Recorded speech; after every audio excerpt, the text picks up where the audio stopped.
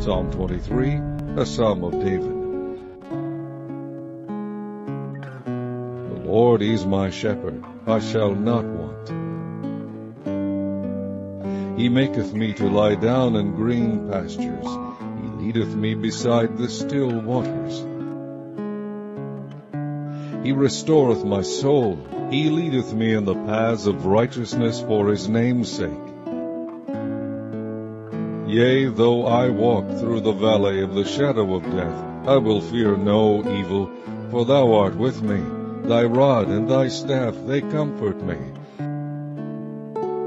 Thou preparest a table before me in the presence of mine enemies.